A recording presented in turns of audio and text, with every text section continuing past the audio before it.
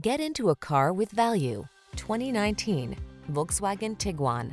This vehicle still has fewer than 60,000 miles on the clock, so it won't last long.